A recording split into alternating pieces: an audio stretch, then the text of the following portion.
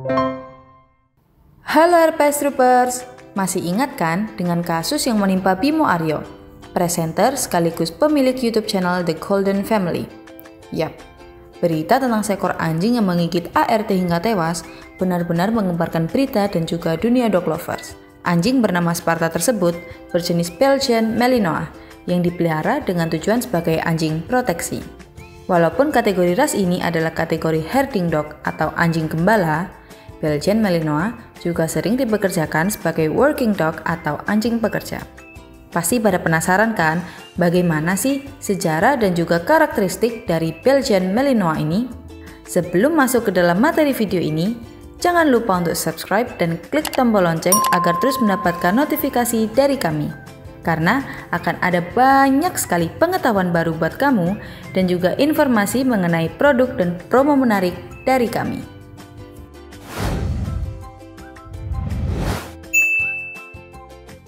Belgian Malinois merupakan bukan Malinois, tapi Malinois. Belgian Malinois. Belgian Malinois termasuk ke dalam kelompok herding dog atau anjing gembala. Berasal dari negara Belgia, tepatnya di kota Malines. Karena banyaknya anjing gembala yang tersebar pada akhir abad ke-18, beberapa kelompok penggemar anjing membentuk ras baru di bawah bimbingan Profesor Adolf dari Sekolah Kedokteran Hewan Kjurgem. Singkat cerita, Profesor Adolf Ruhl bersama dengan dua orang sinologis lainnya, yaitu Mr. Louis Heikepert dan juga Mr. Louis van der Sneek, melakukan program seleksi pejantan dan juga betina terbaik nih. Nah, tujuan dari dilakukannya seleksi itu adalah untuk melakukan beberapa kegiatan kawin silang.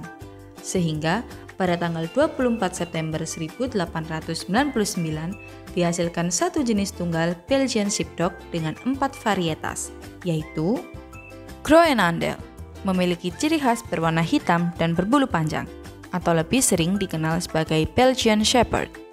Tervuren, memiliki ciri khas berwarna coklat kekuningan dan berbulu panjang. Lake Noir memiliki ciri khas berwarna coklat kekuningan dan berbulu keriting. Malinois memiliki ciri khas berwarna coklat kekuningan dan berbulu pendek. Penyebaran ras Belgian Malinois ini diawali dengan kepopuleran kemampuannya dalam bekerja, yang tidak kenal lelah, gigih, cerdas, patuh, dan juga jeli. Karena sifat-sifat unggulnya inilah, ras Belgian Malinois ini juga dipekerjakan sebagai anjing pekerja untuk militer. Walaupun sebenarnya mereka dikategorikan sebagai anjing gembala, mereka bergabung ke dalam perang, sehingga tidak sedikit anjing-anjing Malinois yang kehilangan nyawanya saat melakukan tugas militer. Mereka bertugas sebagai pasukan perang, kurir, anjing yang bertugas untuk menarik gerobak ambulan, serta sebagai anjing palang merah. Sehingga berita tentang kemampuan Malinois tersebut terdengar sampai ke Amerika. Akhirnya, pada tahun 1911, untuk pertama kalinya, Malinois dibawa ke Amerika.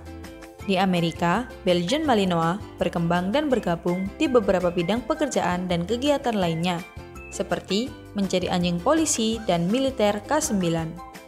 Para Malinois ini juga bergabung ke dalam Perang Dunia ke-1 hingga Perang Dunia kedua berakhir, sehingga tidak sedikit anjing-anjing Malinois yang kehilangan nyawa saat melakukan tugas militer. Untuk menghargai jasa-jasa anjing polisi dan militer, beberapa daerah di Amerika membangun patung perunggu ras Belgian Malinois ini dengan ukuran yang sama seperti ukuran asli anjing tersebut, seperti yang ada di Washougal, Fayetteville, dan North Carolina. Mereka juga diperjakan untuk berkeliling dan menjaga White House. Sehingga pada tahun 1959, American Kennel Club secara resmi melegalkan ras Belgian Malinois sebagai ras terpisah. Ras Belgian Malinois tersebar luas ke negara lainnya seperti Prancis, Jerman, India, dan Australia untuk menjadi bagian dari anjing-anjing militer.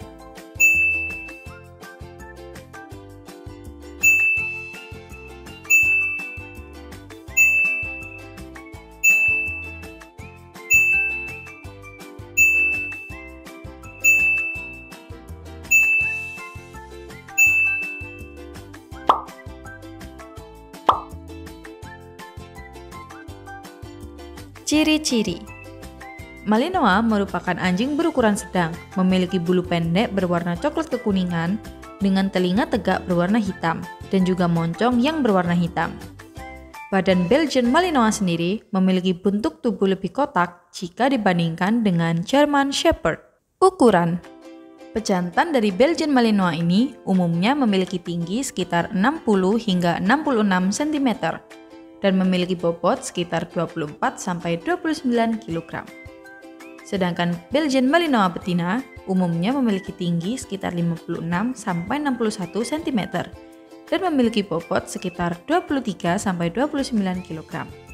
Umur Belgian Malinois memiliki rentang waktu hidup rata-rata 10 sampai dengan 14 tahun. Semakin baik pola hidup, pola makan, dan perawatannya, rentang waktu hidup anjing juga akan semakin lama.